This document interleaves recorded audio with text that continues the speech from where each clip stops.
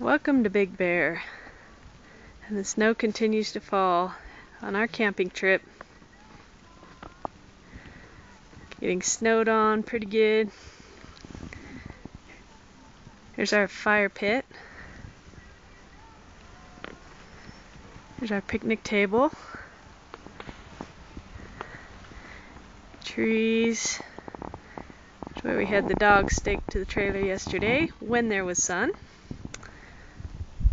Little too snowy right now, so I am going back in.